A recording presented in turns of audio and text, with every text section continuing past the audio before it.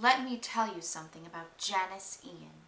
We were best friends in middle school. I know, right?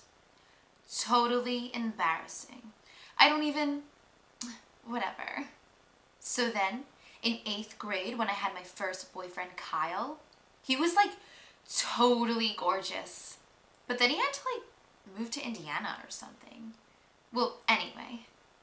So Janis was like weirdly jealous of him. Like anytime I'd blow her off to hang out with Kyle, she'd be like, Why didn't you call me back? And I'd be like, Why are you so obsessed with me? And then for my birthday party, which was an all girls pool party, of course, I was like, I'm sorry, Janis, but I can't invite you.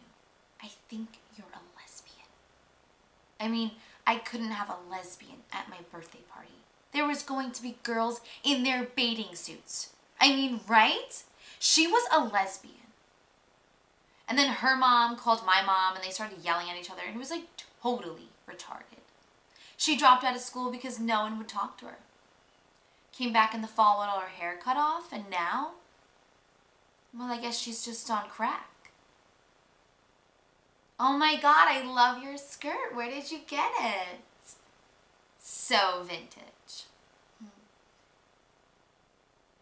That is the ugliest freaking skirt I've ever seen.